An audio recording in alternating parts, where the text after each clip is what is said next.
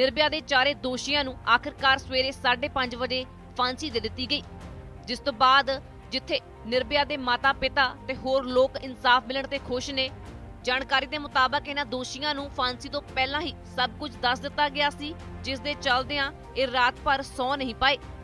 ਇਤੇ ਵੀ ਦੱਸ ਦਈਏ ਕਿ ਤਿਹਾੜ ਜੇਲ੍ਹ ਦੇ ਇਤਿਹਾਸ ਦੇ ਵਿੱਚ ਅਜਿਹਾ ਪਹਿਲੀ ਵਾਰ ਹੋਇਆ ਜਦੋਂ ਚਾਰ ਦੋਸ਼ੀਆਂ ਨੂੰ ਇਕੱਠੇ ਫਾਂਸੀ ਦਿੱਤੀ ਗਈ ਹੋਵੇ, ਜਿਸ ਤੋਂ ਕਿ ਪਹਿਲਾਂ ਹੀ ਜੇਲ੍ਹ ਨੂੰ ਲੋਕਡਾਊਨ ਕਰ ਦਿੱਤਾ ਗਿਆ ਜੇਲ੍ਹ ਅਧਿਕਾਰੀਆਂ ਦੇ ਵੱਲੋਂ ਫਾਂਸੀ ਘਰ ਦਾ ਜਾਇਜ਼ਾ ਲਿਆ ਗਿਆ। ਫਿਰ ਦੋਸ਼ੀਆਂ ਨੂੰ ਇਸ ਫਾਂਸੀ ਬਾਰੇ ਦੱਸਿਆ ਗਿਆ, ਜਿਸ ਕਾਰਨ ਇਹ ਚਾਰੋਂ ਹੀ ਦੋਸ਼ੀ ਰਾਤ ਭਰ ਸੌ ਨਹੀਂ ਪਾਏ। ਇੱਥੋਂ ਤੱਕ ਕਿ ਇਹਨਾਂ ਦੋਸ਼ੀਆਂ ਨੇ ਫਾਂਸੀ ਤੋਂ ਪਹਿਲਾਂ ਨਹਾਉਣ ਤੇ ਖਾਣਾ ਖਾਣ ਤੋਂ ਵੀ ਮਨਾ ਕਰ ਦਿੱਤਾ।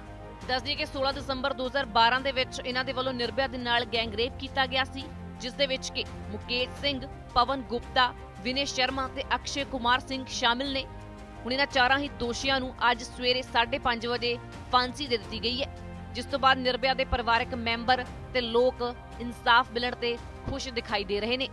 ਪਰ ਉੱਥੇ ਹੀ ਬੇਚੈਨੀ ਦੇ ਚਲਦਿਆਂ ਇਹਨਾਂ ਚਾਰਾਂ ਦੋਸ਼ੀਆਂ ਨੂੰ ਰਾਤ ਭਰ ਨੀਂਦ ਨਹੀਂ ਆਈ। Bureau report, Dainik Savera TV.